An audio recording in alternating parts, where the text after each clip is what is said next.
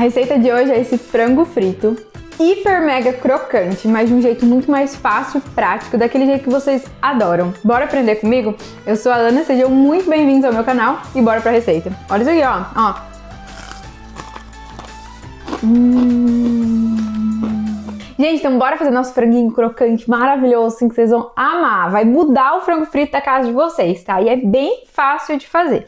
Fiz aquele molho super especial para quem quiser a receita. Vai estar tá aqui embaixo na descrição do vídeo. Esse molho verde para comer com ele que fica assim incrível. E quando eu fiz a receita do molho, eu falei, gente, eu preciso fazer um frango frito para comer com esse molho, porque é a melhor coisa que tem. Eu amo demais. Então vamos lá. Primeira coisa que a gente vai fazer, a gente vai fazer uma massinha um, um creminho para temperar o frango e também para fazer a casquinha dele. Então a gente começa pelos temperos. O que, que eu tenho aqui? Uma colher de sopa de sal para 1 kg de frango, tá? Uma colher de sopa de sal, uma colher de sopa de alho em pó, uma colher de sopa de páprica, pode ser a defumada ou a picante. Eu tô usando a defumada porque eu vou usar pimenta calabresa. Porque aqui em casa só come eu e meu marido, a gente não tem criança em casa para comer. Então a gente gosta bem ardidinho. Se você for fazer e alguma criança for comer e é sensível à pimenta, coloca um pouquinho só de pimenta do reino, porque essa pimenta aqui vai deixar ele mais ardidinho, tá? Eu vou colocar aqui um pouquinho de pimenta calabresa. Junto eu vou colocar uma xícara de farinha de trigo. Vou misturar primeiro esses secos. Esse aqui é o tempero do nosso frango, tá, gente? Então você capricha. Ana, não tenho alho em pó. Só você amassar aqui uns 4, 5 dentinhos de alho, tá? Ou picar ele bem miudinho ou amassadinho, tipo uma pastinha de alho, para ele pegar bem o sabor, tá? Mistura bem aqui os seus temperos. E agora eu vou colocar 150 ml de leite. Ana, sou intolerante à lactose, posso fazer com água? Pode, pode fazer com água, tá? Sem problema nenhum. Eu prefiro o resultado com leite, mas é claro que se você não pode consumir leite, você pode fazer com água sem problema nenhum, tá? Que vai dar certo. Agora mistura bem esses ingredientes aqui. Olha essa pastinha, ó, a cor que ela fica, ó. Bem temperadinha. Isso aqui tem que estar tá super saboroso, porque é o tempero do nosso frango, né, gente? Agora, ó, com tudo bem misturado, a gente vai pegar o nosso frango e colocar nessa pastinha. O que, que eu tenho aqui? Um quilo de coxinha e asinha, ó, tá? Com pele. A única coisa é que ela tá é, separadinha, né? Ela veio junto e eu separei, tá? E agora a gente vai virar esse frango todo aqui nessa massinha e vamos misturar e envolver isso aqui muito bem. Agora funciona assim. Como isso aqui é o tempero do nosso frango, a gente não temperou ele antes, a gente só colocou ele aqui no tempero. Se você puder fazer esse, esse processo aqui uns 40 minutos, duas horas, um dia antes, é a melhor coisa que tem para o seu frango ficar ainda mais saboroso, tá? Aqui, como eu tô gravando para vocês, eu vou fazer já, porque eu não vou ficar esperando até amanhã para gravar, né, gente? Eu não podia deixar isso aqui temperado ontem, porque eu queria mostrar para vocês como que eu fiz esse processo aqui da, do tempero e tudo mais. Então, assim, se não der para fazer no dia anterior ou deixar ele descansando aqui no tempero, tá tudo bem, vai ficar gostoso o seu frango, tá? Mas se você puder deixar ele pronto horas antes, até um dia antes, esse frango temperadinho dessa forma, ele dura até dois dias na geladeira. Então, se você for receber visita, for fazer isso aqui alguma coisa especial, deixa ele temperado antes, tá? Mas se não der, tá tudo bem, vai ficar gostoso. E olha como essa massinha é o suficiente para envolver todo o nosso frango, ó. Tá todo envolvidinho.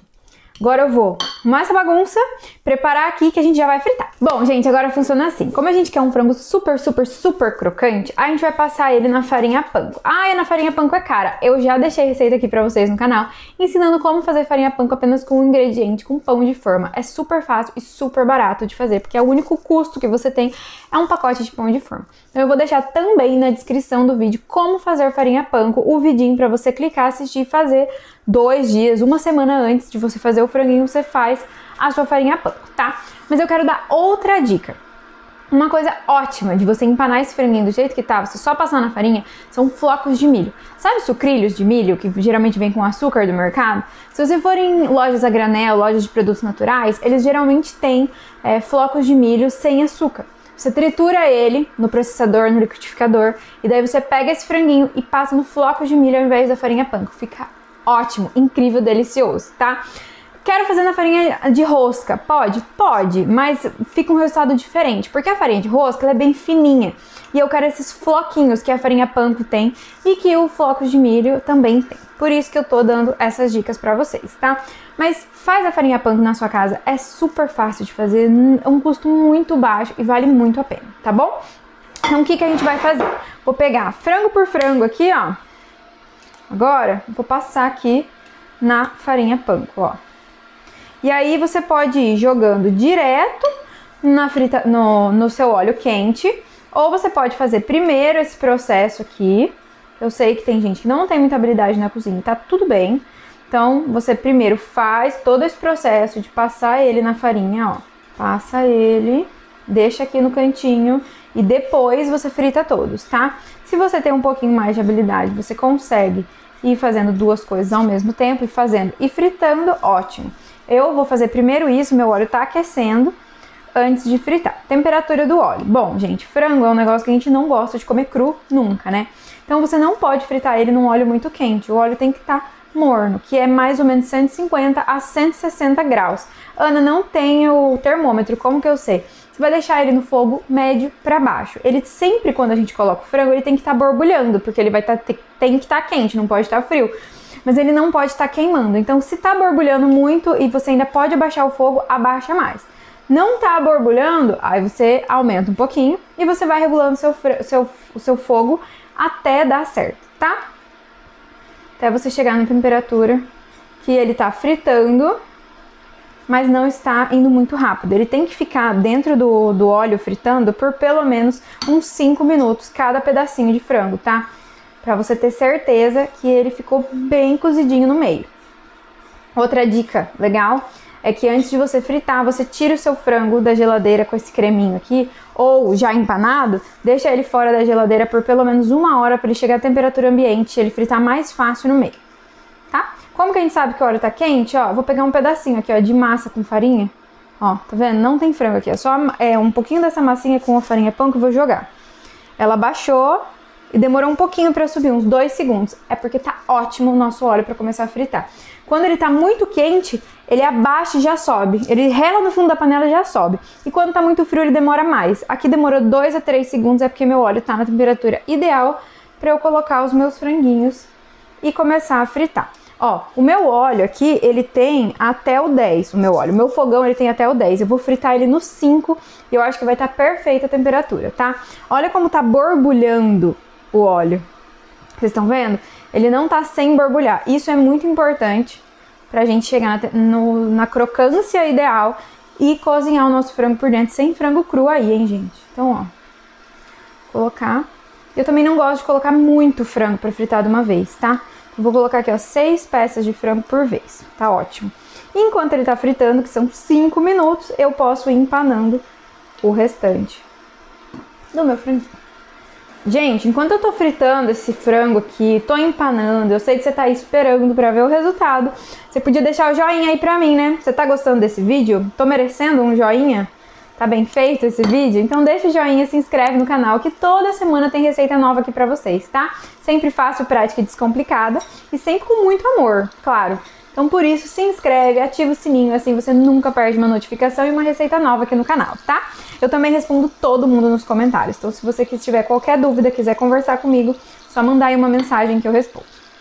Olha, gente, no meio do caminho eu parei aqui, ó, e vou virar o meu franguinho aqui no fogo, tá? Ó, Vou virar todos eles, eles já estão ficando douradinhos, lindos, crocantes. E o cheirinho em casa. Hum. Gente, eu sou louca por uma fritura. Eu amo tudo frito. Eu tento não fazer muito em casa. Inclusive, já que eu tô falando de fritura, olha só, eu já tenho receita no canal de um franguinho empanado sem fritura e super crocante, feito com peito de frango. Então, se você quiser essa receita, procura aqui no canal, vou deixar aqui também na descrição, tá? Essa receitinha para quem quiser esse fazer esse franguinho sem fritura. Se você quiser fazer essa mesma, do jeitinho que eu tô fazendo e colocar na air fryer ou no forno, pode colocar, que dá super certo. A única coisa que eu aconselho você a fazer é nessa misturinha que a gente fez aqui, você colocar umas duas colheres de sopa de azeite para ajudar com um pouquinho de gordura para sua casquinha ficar ainda mais crocante. Mas é a única mudança. Aí você pode colocar direto no forno no air fryer, vai ficar delicioso, tá? Olha, o que eu tava falando pra vocês sobre a temperatura do óleo. Olha como ele tá borbulhando mais do que antes, porque o óleo já tá ficando uma temperatura um pouco mais alta. Então, o que, que eu faço? Eu vou abaixar um pouquinho o meu fogo para manter o meu frango aí mais tempo. Ele precisa ficar pelo menos 5 minutos a 8 minutos, tá? Então, por, é assim que a gente regula o frango. Por isso que a gente fala pilotando o fogão. A gente pilota nas temperaturas, sabe? E é assim que a gente descobre se o óleo tá muito quente, se o óleo tá muito frio. Tá borbulhando muito. Eu preciso que ele fique um pouquinho mais baixo. Então, abaixei aqui para 3. Aí no seu fogão de casa, gás, é só você abaixar mais um pouquinho que vai dar certo.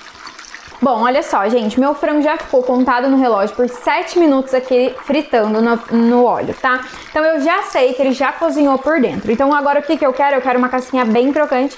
Ele ainda tá fritando eu quero ele um pouquinho mais douradinho. Então o que, que eu vou fazer? Eu vou subir de novo a temperatura para médio, nunca fogo alto. É sempre médio para baixo, médio para baixo. A gente vai pilotando aí, tá? Então vou subir de novo pro médio e eu vou esperar a minha casquinha ficar ainda mais dourada e aí eu já vou retirar e eu vou saber que meu frango tá cozido no meio, tá? Principalmente esses pedaços com osso, é muito mais difícil de fazer. Por isso que eu tô dando essas dicas, se você quer fazer o pedacinho com osso. Agora, por exemplo, se você quiser fazer essa mesma receita com peito de frango, dá super certo, tá? E é muito mais fácil de fritar. Porque o peito de frango, como ele não tem osso, ele cozinha mais fácil.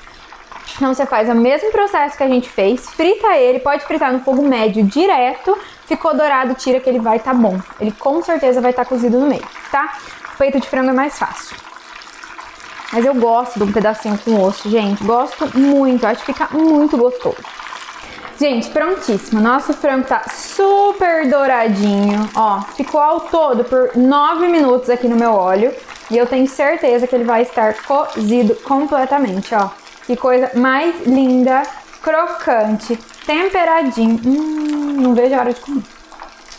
Agora eu vou retirar e vou fritar mais. Gente, é crocância, vocês não têm noção. Não tem. E agora eu vou fritar até acabar e aí eu venho mostrar pra vocês o resultado perfeito desse frango.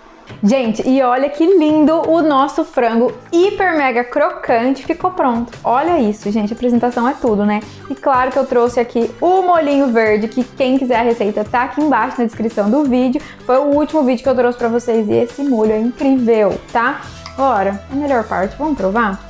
Já deixou o seu joinha? Deixa o joinha, se inscreve no canal que toda semana tem receita nova. Agora bora ver aqui, ver se tá bom isso aqui. Peraí. Coloquei até a câmera mais perto pra vocês sentirem a emoção desse momento, ó. Olha essa crocância, ó. Vocês têm noção?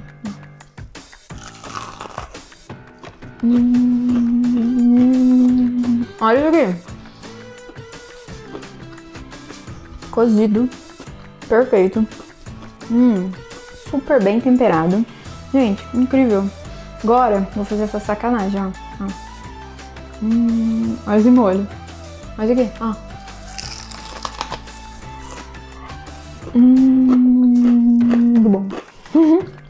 muito bom. É isso. Esse é o vídeo de hoje. Espero que vocês tenham gostado. Um beijo e até a próxima receita. Hum, que delícia.